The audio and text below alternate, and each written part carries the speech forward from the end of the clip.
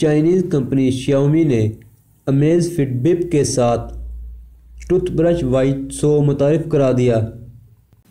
पचास ग्राम वज़न का हामिल ये टूथब्रश एक बार चार्ज होने पर पच्चीस दिन तक चल सकता है।